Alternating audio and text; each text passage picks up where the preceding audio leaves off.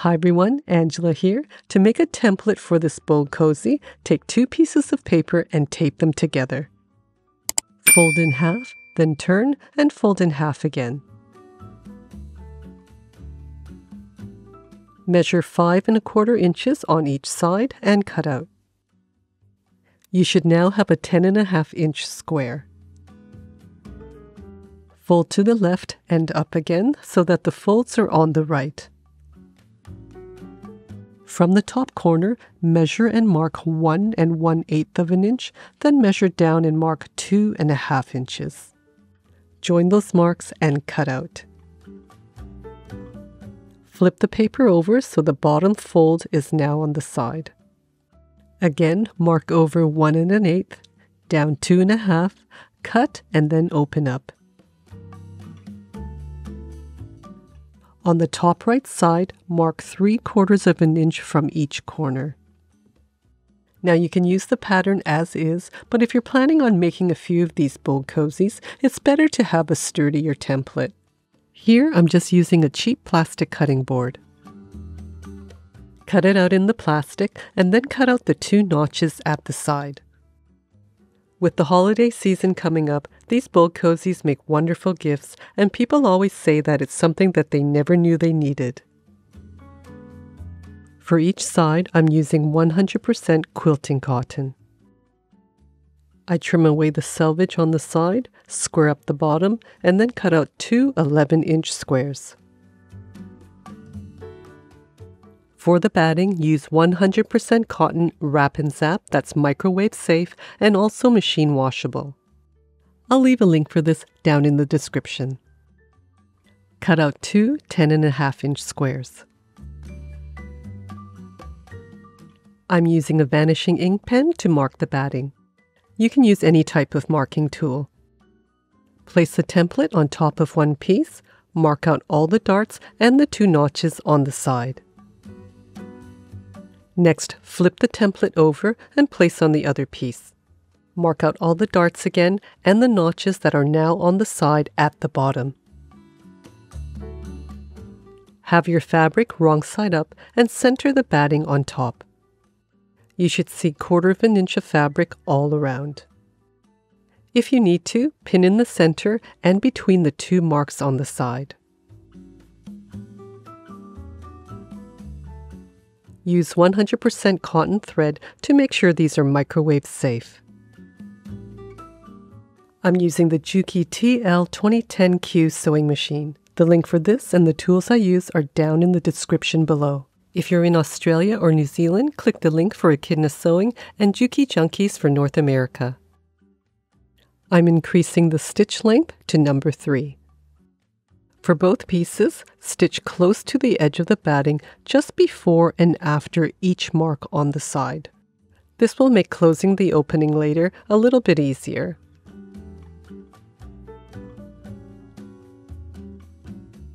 I don't bother quilting the batting to the fabric first because as you can see it kind of sticks to the fabric and stays in place already.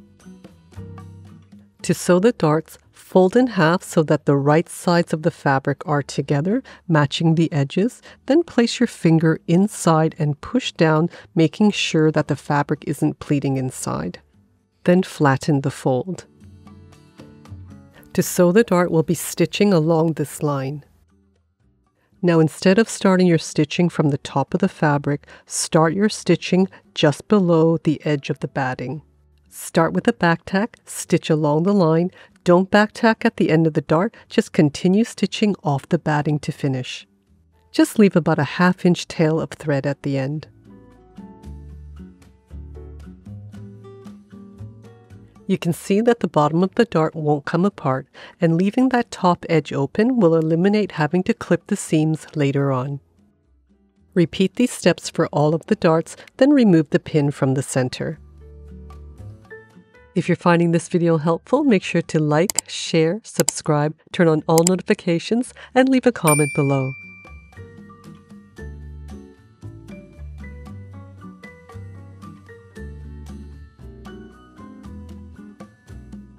I'm using my favorite Kai embroidery scissors to trim the darts.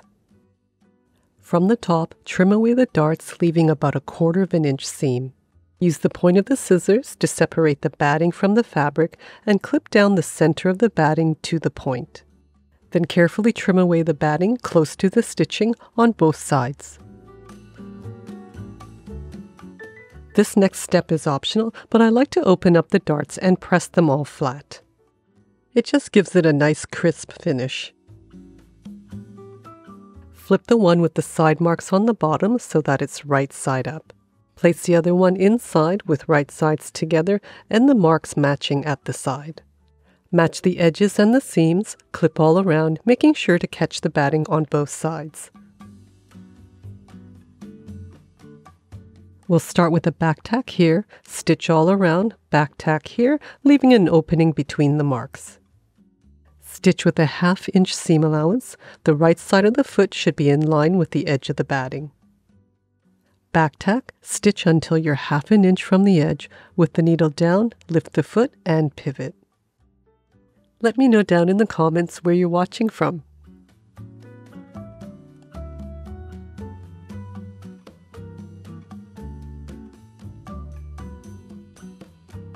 Trim all the corners on an angle, making sure not to cut any of the stitching.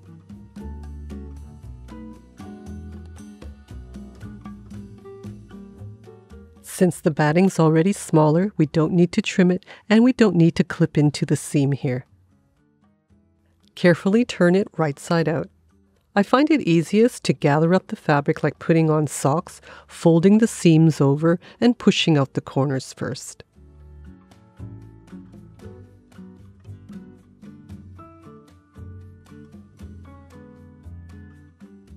Once done, use a knitting needle or a point turner to push out the corners. Fold in the seams of the opening, line up the edges, and clip together. Having that half inch seam and the layer sewn together makes this easier to do. Adjust the seam so that it's right in the center and we'll start the top stitching from this start. To sew a 1 8 of an inch top stitch, have the edge of the fabric in line with the middle of the right side of the foot. Start with the back tack, stitch all around, pivoting at the corners, and back tack to finish. Keep adjusting the seam at the side, making sure it's in the center. This way the edges and the top stitching will look nice on both sides of this reversible bowl cozy. Starting and stopping just inside this top stitching, we'll sew two diagonal lines through all the layers.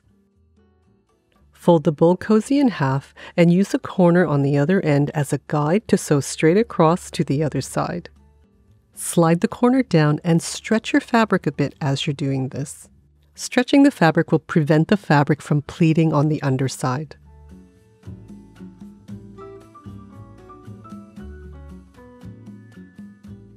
So now you have a nice, neat bowl cozy.